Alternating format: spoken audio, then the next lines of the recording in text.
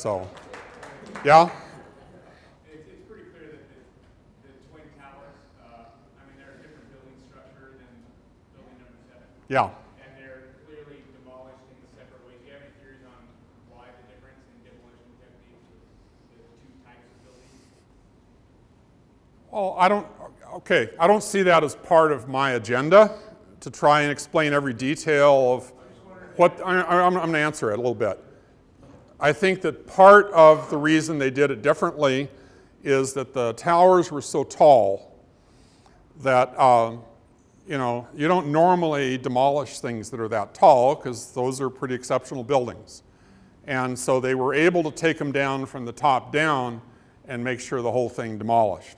They wanted to get rid of all of the, not only the buildings, but they wanted to get rid of all the evidence. They had it all fall in a small enough pile that they were able to scoop it up and melt it down and get rid of it. I think they were concerned that if you have too much of the bare bones stuff exposed to public scrutiny, it's going to show the mechanism of demolition. And the people who uh, cleaned up the site was a demolition company that uh, knew what to look for. You know, I'm sure they were out there scavenging everything that would be, um, you know, questionable. Well, yeah, that was my theory on why building seven came down